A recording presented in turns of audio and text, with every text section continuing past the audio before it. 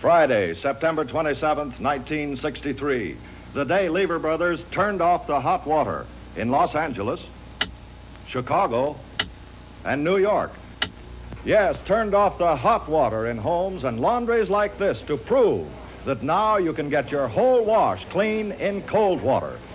This is Bob Warren with news of a revolutionary liquid detergent discovery. New cold water all, proven in these cities from coast to coast to get your whole wash clean in cold water. Just think what that means. With cold water all, clothes won't shrink, as in hot water. Colors won't fade, as in hot water. Stains won't set, as in hot water. And fabrics come out smoother, more wrinkle-free, so there's less ironing needed. You'll save on hot water bills, too. So get new cold water all, proven in laundries like this, coast to coast, to get your whole wash clean in cold water.